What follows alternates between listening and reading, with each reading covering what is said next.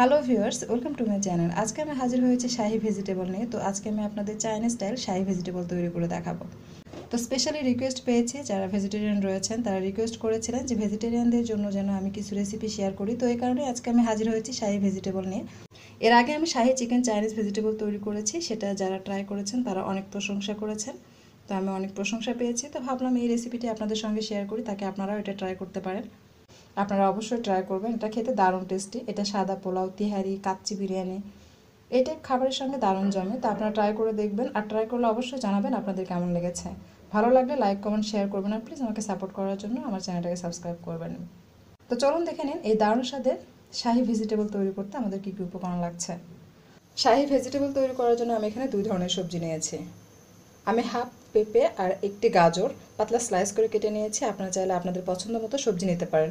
এখানে নিয়েছি ঘি সয়া সস আমি এখানে গুঁড়া দুধ নিয়েছি, এটা হালকা গরম পানিতে মিক্সড করে নিয়েছি, এক কাপ এখানে নিয়েছি দুই টেবিল চামচ কর্নফ্লাওয়ার টমেটো ক্যাচা আর এখানে তিনটি পেঁয়াজ আমি ফালি করে কেটে নিয়েছি। নিয়েছি হাফ চা চামচ কালো গোলমরিচের গুঁড়া আর নিয়েছি এক টেবিল চামচ বাদাম বাটা, হাফ টেবিল চামচ রসুন কুচি আর নিয়েছি দুইটি কাঁচামরিচ। সবুজ আর লাল আমি মাঝখান থেকে কেটে দেখতেই পাচ্ছেন, মাঝখান থেকে কেটে নিয়েছি। প্রথমে আমি সবজি সেদ্ধ করে নেব। তো আমি চুলায় পানি দিয়েছি, দিয়ে দিচ্ছি লবণ।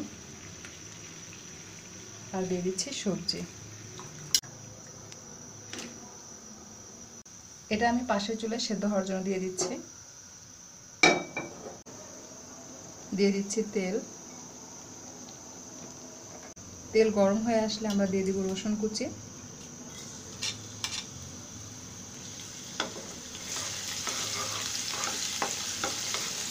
রসুন হালকা ব্রাউন হয়ে আসলে আমরা দিয়ে দিব বাদাম বাটা।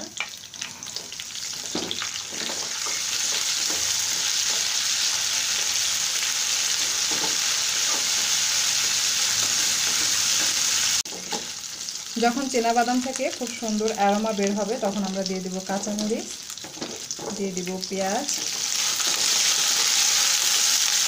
আর দিয়ে দিব সবজি।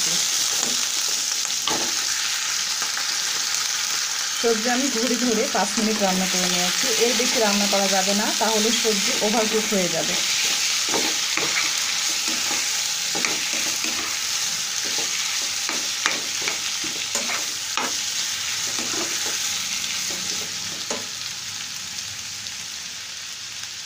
দিয়ে দিচ্ছি এক টেবিল চামচ টমেটো কাঁচা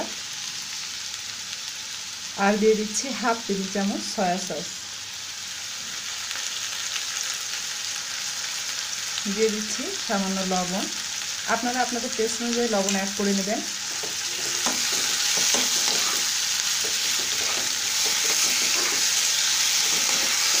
কিছুক্ষণ মেরে চেড়ে দিয়ে দিতে হবে দুধ। তো আমি দুধ অ্যাড করছি।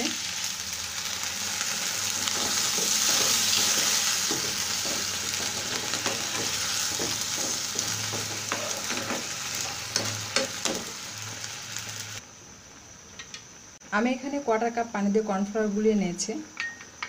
এটা দিয়ে দিচ্ছি। বলক আসার পর এটা দিয়ে দিতে হবে। বলক প্রায় এসে গেছে, আমি দিয়ে দিচ্ছি। একটু একটু করে দিব আর আমরা চেক করে দেখব ঠিক আছে কিনা এর কনসিস্টেন্সি একসঙ্গে বেশি দেওয়া যাবে না, তাহলে কিন্তু একদম ঠিক হয়ে যাবে। তো আমার এইটুকু বেঁচে গেছে, দেখতে পাচ্ছেন? বেশি ঠিক হয়ে যাওয়ার কারণে আমি আবার একটু দুধ অ্যাড করে নিয়েছিলাম। দিয়ে দিচ্ছি হাফ চা চামচ কালো গোলমরিচের গুঁড়া। এই পর্যায়ে লবণটা আপনারা চেক করে নেবেন, লবণ ঠিক আছে কিনা। এখন দিয়ে দেবো একটু কাঁচামরিচ।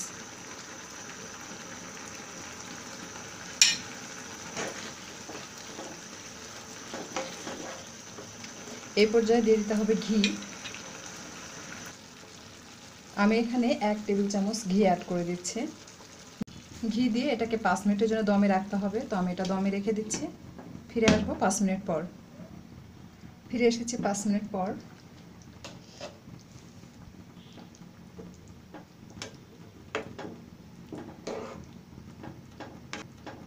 আমি একটু চেক করে দেখছি, লবণ, ঝাল সব কিছু ঠিক আছে কিনা?